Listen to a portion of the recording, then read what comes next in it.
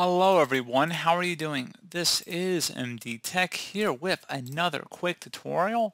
In today's tutorial, I'm going to show you guys how to go about resolving if the Windows 11 File Explorer is crashing on your Windows computer.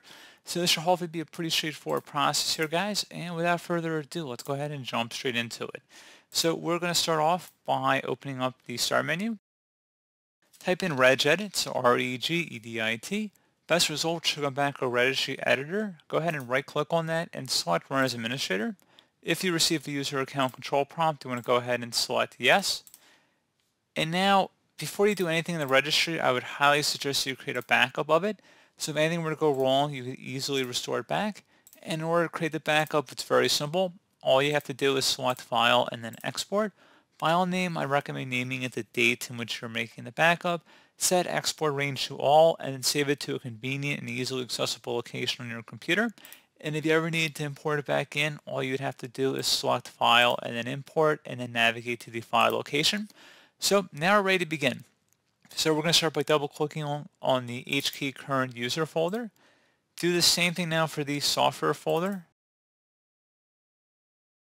Then you want to go to classes and you want to double click on that. You want to go down near the bottom of this list here until you find local settings. Should start with a capital L, so again, local settings. And you can type on one of these random folders here and then just, it'll take you right there. So again, local settings. Go ahead and double click on that. Double click on the software folder. Double click on Microsoft. And then Windows, double click on that. And now you should see a folder in here that says shell. Go ahead and double click on that one. And now there should be a folder in here that says bag MRU. We're going to go ahead and delete it.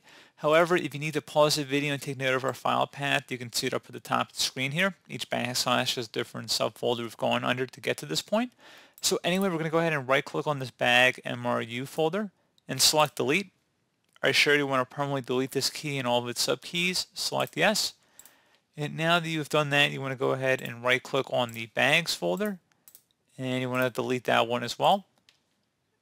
And now that you've done that, you want to go ahead and close out of here. You don't have to close or collapse all the folders that I'm doing here, but you're welcome to. And close out of here, and you want to go restart your computer.